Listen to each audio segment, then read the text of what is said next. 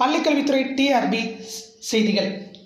Polytechnic கல்லூரி விரிவுரையாளர் பணிக்கு தேர்வானோர் பட்டியல் வெளியிடப்பட்டுள்ளது. ஜூலை முப்பத்தி ஒன்று வெளியான தகவல்.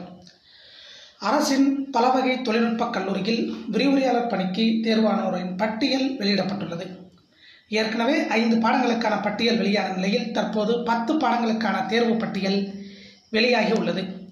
கடந்த இரண்டாயிரத்தி பதினேழு பதினெட்டாம் ஆண்டிற்கான அரசு பாலிடெக்னிக் கல்லூரிகளில் ஆயிரத்தி அறுபது காலிப்பணியிடங்களின் நேரடி நியமனம் மூலம் பணி தேர்வு செய்ய ஆசிரியர் தேர்வு வாரியம் அறிவிப்பு வெளியிட்டது. அவர்களுக்கு கம்ப்யூட்டர் மூலம் இரண்டாயிரத்தி இருபத்தி ஒன்று டிசம்பர் எட்டாம் தேதி முதல் பதிமூணாம் தேதி வரையில் தேர்வு நடத்தப்பட்டது. அதன் முடிவுகள் இரண்டாயிரத்தி இருபத்தி ரெண்டு மார்ச் எட்டாம் தேதி ஆசிரியர் தேர்வு வாரியத்தின் இணையதளத்தில் வெளியிடப்பட்டன. பாலிடெக்னிக் விரிவுரையாளர் பணிக்கு விண்ணப்பம் செய்தவர்கள் தங்களின் கல்வித் தகுதி சான்றிதழ் பணி அனுபவம் சான்றிதழ் தொடர்பான கூடுதல் ஆவணங்களை இரண்டாயிரத்தி இருபத்தி ரெண்டு மார்ச் பதினொன்றாம் தேதி முதல் ஏப்ரல் ஒன்றாம் தேதி வரை பதிவேற்றம் செய்ய அறிவுறுத்தப்பட்டது.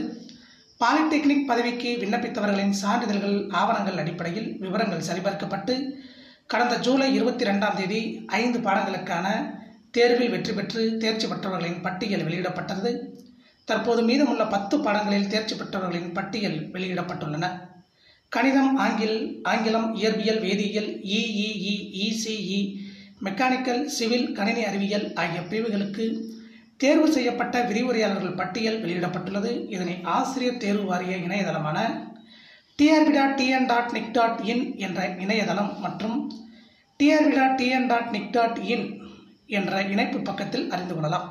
இதை போன்ற டிஆர்பி பாலிடெக்னிக் விரிவுரையாளர் பிஜிடிஆர்பி டெட் செய்திகளை உடனுக்குடன் தெரிந்து கொள்ள நம்ம சேனல் சப்ஸ்கிரைப் பண்ணுங்கள் ஷேர் பண்ணுங்கள் லைக் பண்ணுங்கள் நண்பா நன்றி வணக்கம்.